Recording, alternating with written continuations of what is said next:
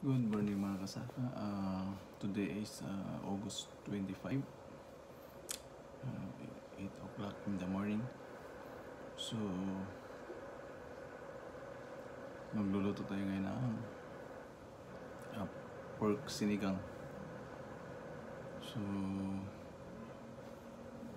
before mag-proceed tayo, please subscribe my YouTube channel and don't forget to click the bell button para sa more videos.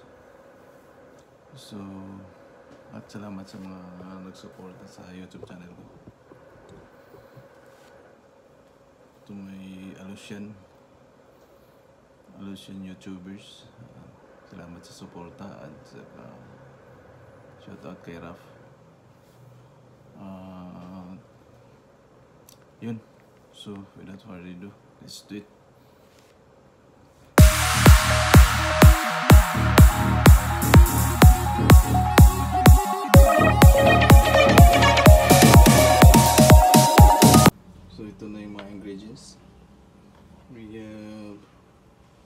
Ginger, onion, pork cubes, so pork cubes, uh, pepper crack. We have gabi. I don't know how they call it. Basta sa Pilipinas, gabi. Yan. We have uh, okra. Mam się sito. And ceiling green. And of course kangkong. And also asin. So, at of course, ang pork natin. So yun, nalinis ko na yun, ready na sa pag-boil. So yun. So first step, uh, malagay tayo ng tubig sa kawali. Then, lagay natin yung pork.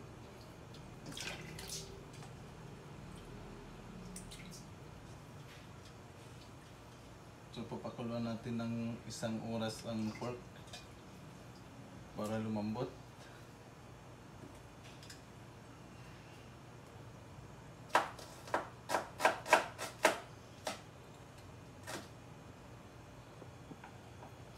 Sabihin natin yung onion.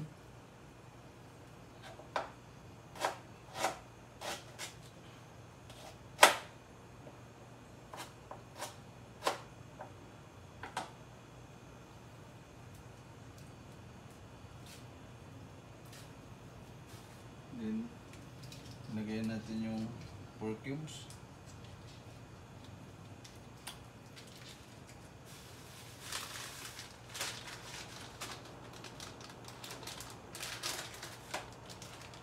Then, crack pepper.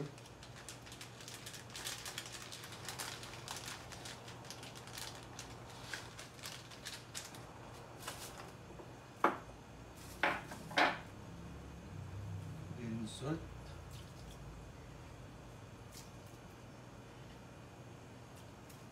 So masyadong madaming salt guys, yung sakto-sakto lang na magkalasa yung karne.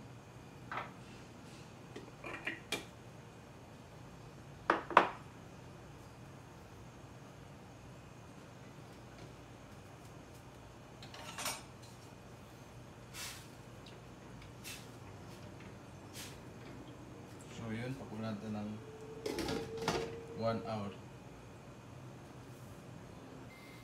So habang pinapakulan natin yung karne, let's prepare the mga gulay. So, gabi, linisin natin.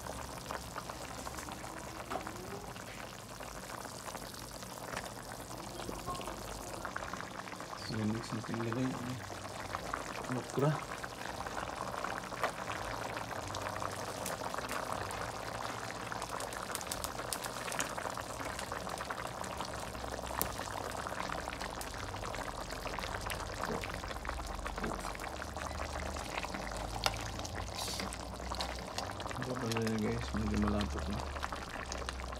Open na.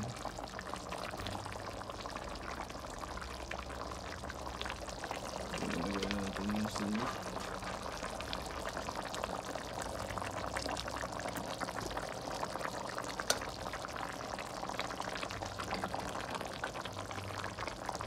Yun.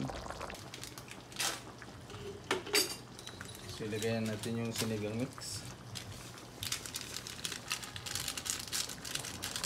Isang pack. So, depende na lang sa inyo guys kung gusto, ano, gaano kaasim ang gusto niyo.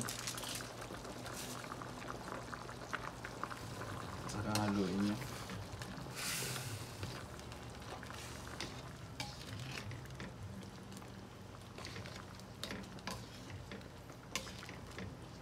Kung gusto niyo maasim na maasim, nilagay na lang ng sinigang mix.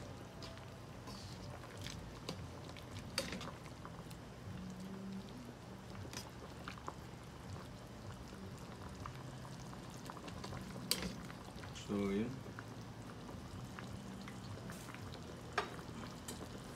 Ilagay natin yung kangkong.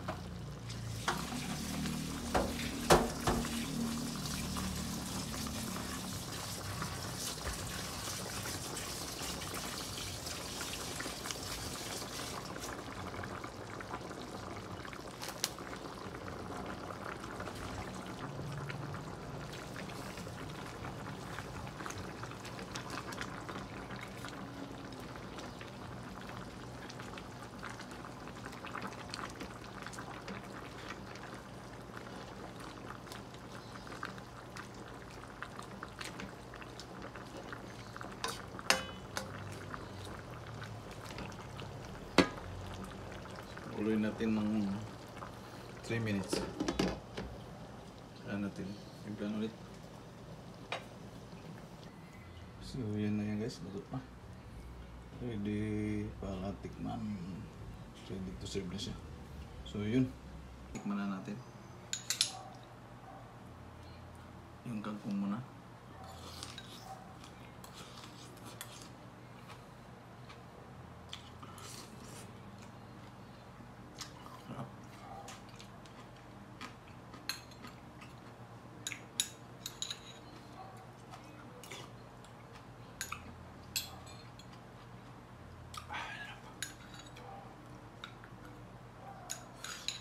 Kan ya.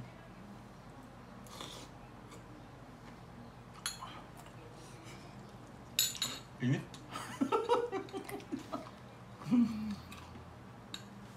Yep.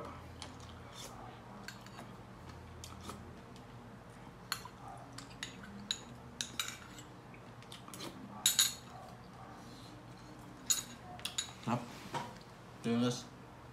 Kalian seperti YouTube channelku. Kita-kita tayo sa muli. Musaka TV. Thank you.